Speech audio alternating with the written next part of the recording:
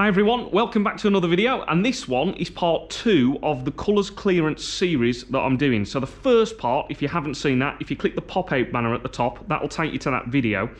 That one was about clearing the yellow, green and brown, all the various positions we find ourselves in when we're trying to clear the yellow, green and brown. That'll really help you with that.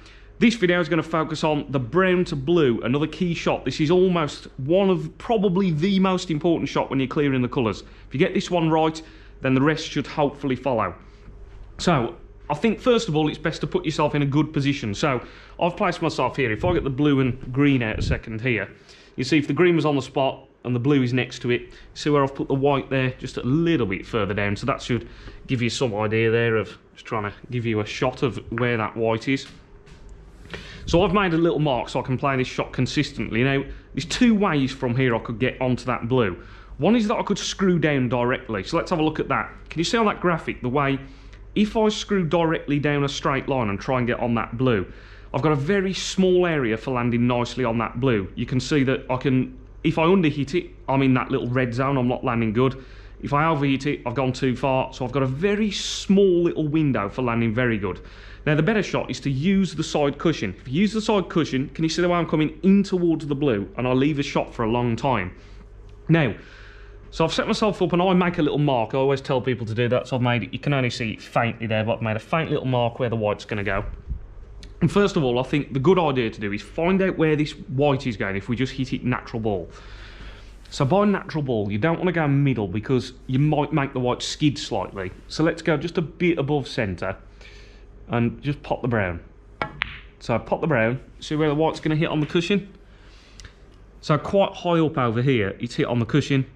And then obviously that is not leaving us a very good shot at all on the blue. So it's, you know, it's a long way from that blue there. So let's get this brown out again and have a look. So we want to try now to stun the white so that we send it wide over here, comes off this cushion and then down towards the blue. So the problem is with that are when you play a stun shot, you've got the height on the white that will alter how much stun you get and you've also got the power that you play the shot will also alter how much stun you get. So you're trying to get those two things right when you play a stun shot. So I'm going to pick here, minus one on the white. So from the centre, minus one, just go one tip down.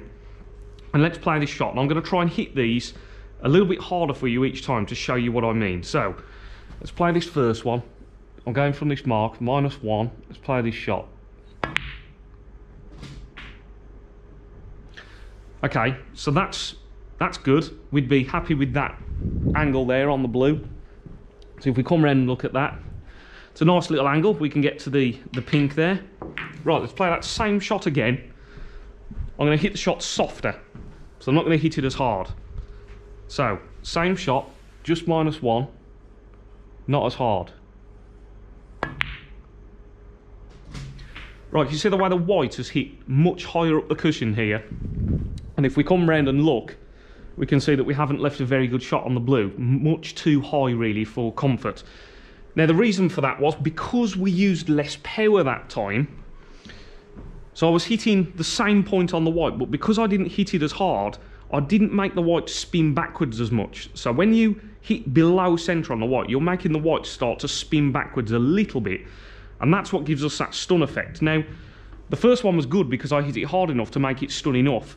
The second one was too soft, and I made it, and, and all the spin had gone. It had run out by the time the white got to the brown. There was no spin left on the white, and it didn't stun. So, let's do that again, and let's hit it very hard. So, we'll do that. Right. Now you can see it's gone really wide. It's gone actually past this middle pocket and down the table. All of those shots were played at the same point on the white. It was just the power was different on each one of those shots. So you have to experiment there with what power you need to hit it so you get the perfect line. Because depending on the point on the white and how hard you hit it, you'll hit different points on that side cushion each time.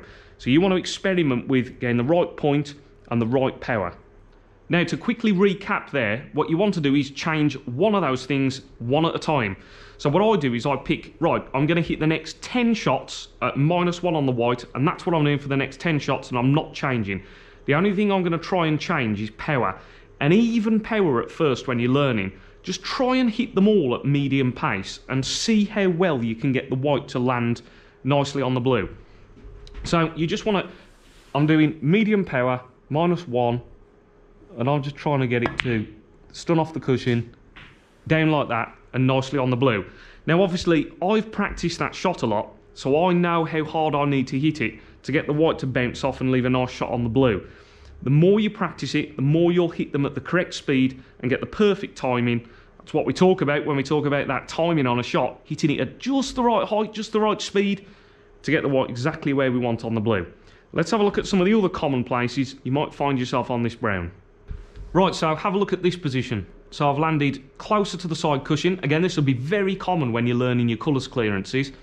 Now, we've got the other shot available to us again. We could try and dig into the white like that and play off this side cushion. There's nothing wrong with that, but the cueing is more difficult now because we're very close to the side cushion. So whenever I've got these difficult shots, I always ask myself the question, can I just play this shot, plain ball, so just a little bit above centre, just naturally where the white's running, and leave a shot on the blue?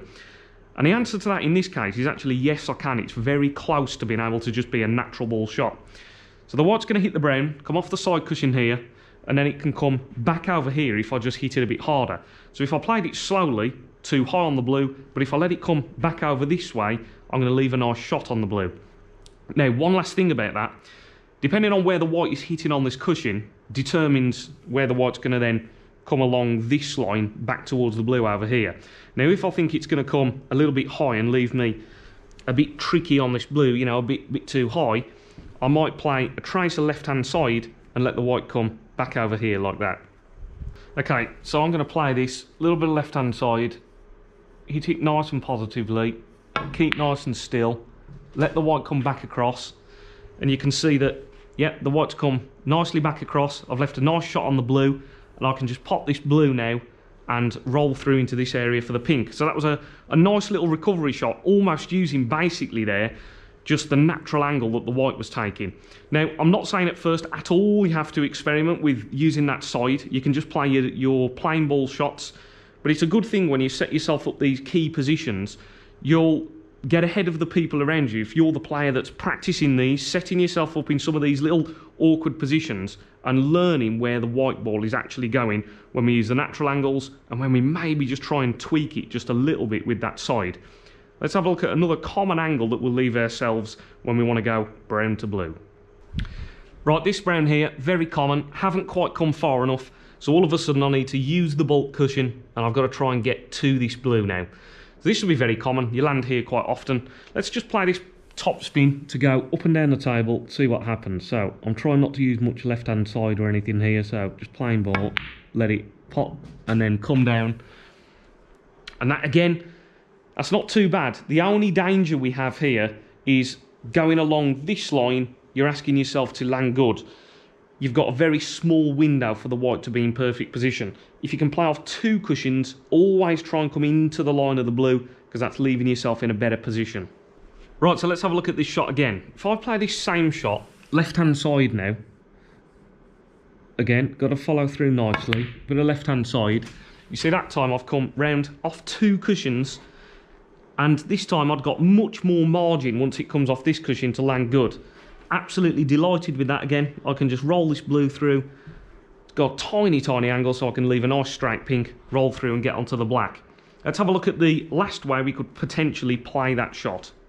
So here we are on this same angle again, and I might even play this next shot if I'm even a bit thinner like this. So this shot is where we try and screw round this corner pocket, so screw round the corner of the yellow pocket, back out and leave the white over here for the blue. Now, of course, this shot, if you get too much screw on the white, you will actually screw the white too much and I could actually hit this side cushion. Not enough screw and I'll come more into the centre of the table. So again, it's all about learning the speed and the amount of stun and screw that you need. But this is a great shot to try and practice and get in your locker again. So, round the corner like that. Bringing the white round trying to leave myself on that blue and you can see absolutely over the moon there again with that position on the blue. I can roll through I can even use the cushion here to get a bit closer to the pink. So some common shots again there that you might find yourself when you're going brown to blue.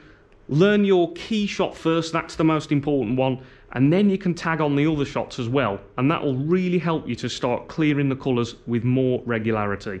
So as always everybody i really hope you found this video useful as always if you did please remember to give the video a like. If you're new to this channel and you haven't subscribed please consider subscribing. I make regular uploads with exhibition shots tutorial videos like this. Lots of fun stuff so please consider giving the channel a subscribe for anyone that's interested in any personal one-to-one coaching sessions, I'm working with players on this very table all the time, helping them to improve their game.